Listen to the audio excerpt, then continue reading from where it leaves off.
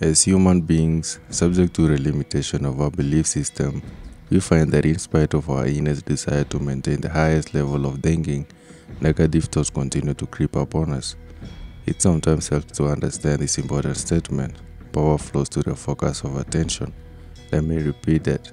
Power flows to the focus of attention. You have a central consciousness and a marginal consciousness, just as you have central vision and marginal vision.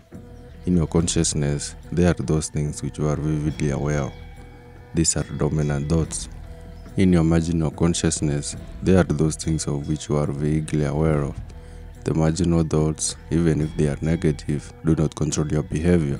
What controls your behavior in your life is your central consciousness or your dominant thoughts. Now pay attention to this. You will have a tendency to attract those things that you love, fear, or steadily expect. That is, those things that you are rolling on in your central consciousness. Now, I hope you have learned something new today, family. Until next time, Alaya.